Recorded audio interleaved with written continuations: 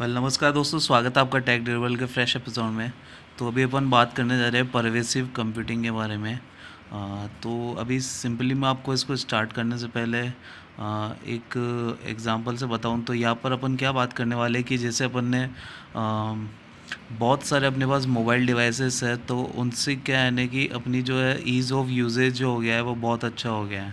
क्योंकि हर एक डिवाइस आपका जो है मोबाइल हो या टैबलेट हो या कंप्यूटर हो वो सब इंटरनेट से कनेक्टेड है और उस वजह से जो है यहाँ पर हमारा जो ईज़ ऑफ़ यूजेज है वो बहुत ही अच्छा हो चुका है परवेसिक इन सभी मोबाइल डिवाइसेस की वजह से।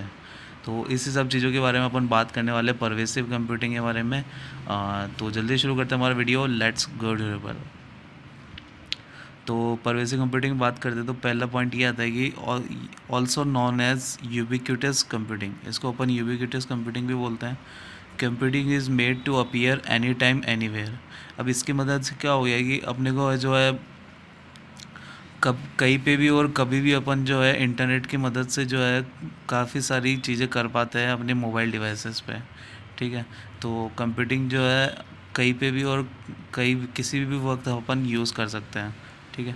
In any location and in any format ठीक है? कोई भी लोकेशन हो, चाहे अपन अपने घर पे हो या फिर अपने ऑफ़िस पे हो, और यहाँ पर किसी भी फॉर्मेट में अपन यूज़ कर सकते हैं, जो भी अपने पास मोबाइल डिवाइस हो उस पर जैसे कि आपके पास लैपटॉप हो तो आप लैपटॉप से यूज़ कर सकते हैं मोबाइल से यूज़ कर सकते हैं टैबलेट से यूज़ कर सकते हैं। आप चाहे तो मेल अगर आपको ईमेल भेजना तो लैपटॉप से भेज सकते हैं मोबाइल से भी भेज सकते हैं टैबलेट से भी भेज सकते हैं। तो ये सब चीज़ें हैं परवेजिंग कंप्यूटिंग की। तो अब इसके प्रिंसिपल्स की बात कर लेते हैं। तो यहाँ पर जो पहला प्रिंसिपल आता है, वो आता है डिसेंट्रलाइजेशन इसका पहला प्रिंसिपल ये है कि डिसेंट्रलाइजेशन जो भी हो रखा है कंप्यूटर्स का, उसको ख़त्म करना और जो है डिसेंट्रलाइजेशन को प्रमोट करना. Previously smart computers are at a place ठीक है तो पहले क्या होता था कि जो सुपर कंप्यूटर्स थे अपने पास ठीक है? बहुत पहले जो कि पूरा एक एक रूम की जगह ले लेते थे इतने बड़े बड़े कंप्यूटर्स थे अपने पास तो वो जो है केवल उसी जगह पे रह पाते थे। अपन यूँ चाहते तो उनको दूसरी जगह नहीं ले जा सकते थे क्योंकि वो बहुत ही बड़ा सेटअप होता था उनका ठीक है? पर यहाँ पर आ, तो उससे क्या होता था कि होल पावर इज़ सेंट्रलाइज तो सुपर कंप्यूटर की जो पावर है वो पूरी सेंट्रलाइज हो जाती मतलब किसी एक पॉइंट पे ही हो जाती थी ठीक है? नाउ अब परवेसिव कंप्यूटिंग के आने से क्या होता है कि personal computers with client server architect अभी क्या है कि यहाँ पर अपने पास पर्सनल कंप्यूटर्स हैं जो कि क्लाइंट सर्वर आर्किटेक्चर पर रहे हैं। पर यहाँ पर परवेसिव कंप्यूटिंग और आपको एक और स्टेप आगे ले जाता है। यहाँ पर स्मॉल डिवाइसेस भी आ गए जिससे आप जो है अपनी कंप्यूटिंग के एक्सपीरियंस को बहुत अच्छा कर सकते हैं।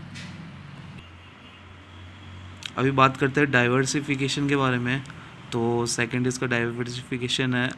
पहला पॉइंट आता है multiple devices help people with usages तो अभी यहाँ पर बहुत सारे डिवाइसेस हो गए तो उनका जो यूजेज हो गया पीप लोगों के लिए वो बहुत अच्छा हो गया जैसे लैपटॉप मोबाइल टैबलेट है तो अपन कहीं पे भी किसी भी चीज़ को कंटिन्यू कर सकते हैं किसी भी वक्त ठीक है? तो इसका एग्जांपल मैं आपको बताऊँ तो नेटफ्लिक्स है। जैसे कि मान लीजिए आप नेटफ्लिक्स पे कुछ भी देखते हैं जैसे कि आपने आ, आ, कोई भी वेब सीरीज़ देख रहे हैं और आपने उसे मोबाइल में वहाँ स्टॉप कर दिया।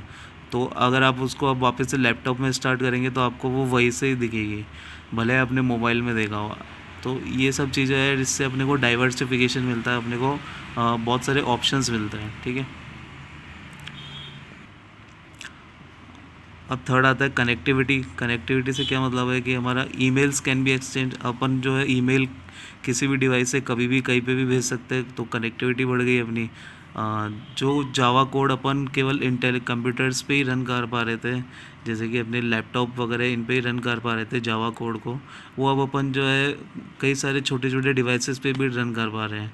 जैसे कि स्मार्ट बल्ब्स है गूगल होम है तो यहाँ पर ये सब जो है बहुत ज़्यादा कंप्यूटिंग एक्सपीरियंसेस को बहुत अच्छा ले जाते हैं और यूज़र के एक्सपीरियंस को इनक्रीज़ करते हैं। अब गूगल होम से अपन कहीं पे भी कोई भी क्वेरी पूछ सकते हैं।